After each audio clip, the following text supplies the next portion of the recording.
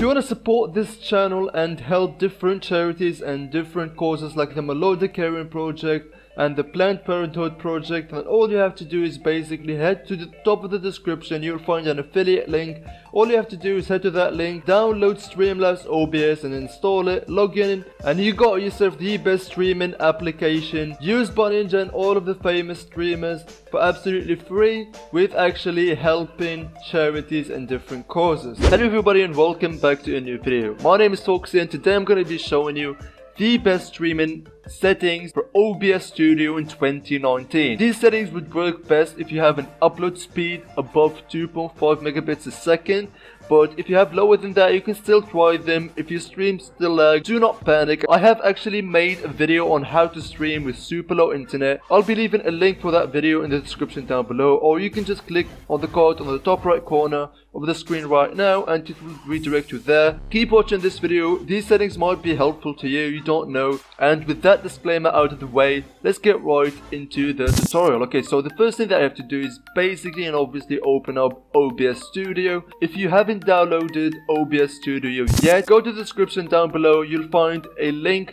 Click it, it will send you directly to the download page.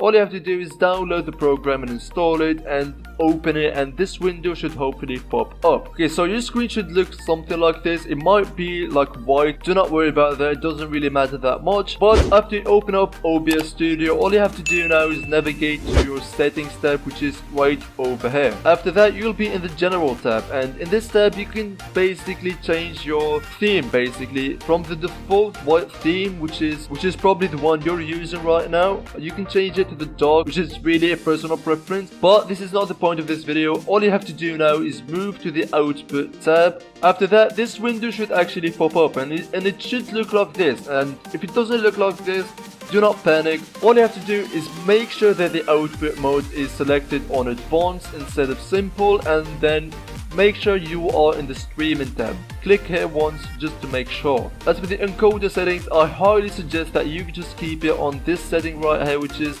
X264. Just keep it on there, it is the best encoder. It basically uses your CPU instead of your GPU which is really good basically. Just keep it on that option.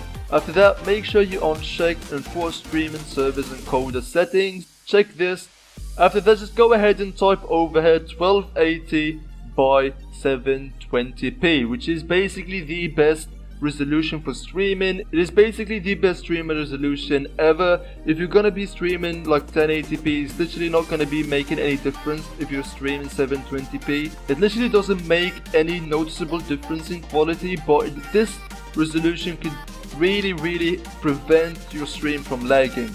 After that, move to the rate control and be sure to open the drop down menu and select CBR which is current bitrate. After that this space should show up where you can actually type in your bitrate. Just keep it on 3500 and then if your stream starts lagging a bit just lower it to 3000 um, anything from 3000 to 3500 should be good. The keyframe interval, I just keep it at default.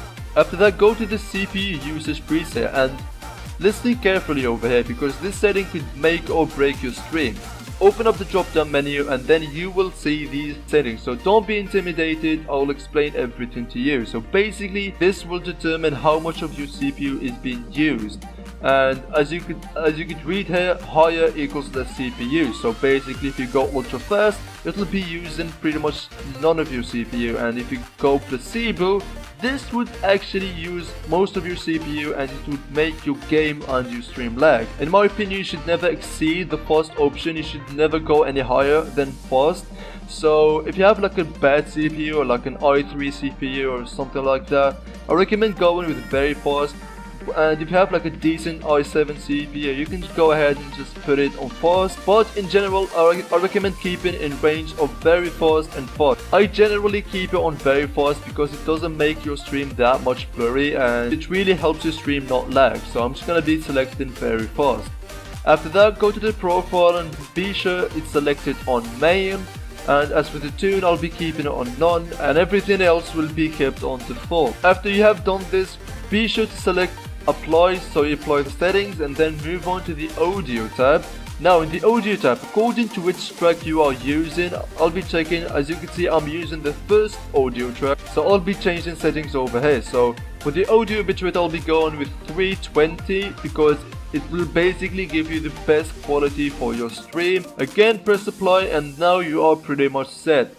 And this concludes today's video. If you guys enjoyed today's video, if you guys learned something new, if this video helped you in any way possible, then be sure to leave a like rating on today's video. It would be absolutely awesome if we can hit 25 likes on today's video. Also, why not hit that subscribe button because I'm on my way to 1500 subscribers and all help is appreciated. And with that being said, I'll see you guys in the next video. Bye bye.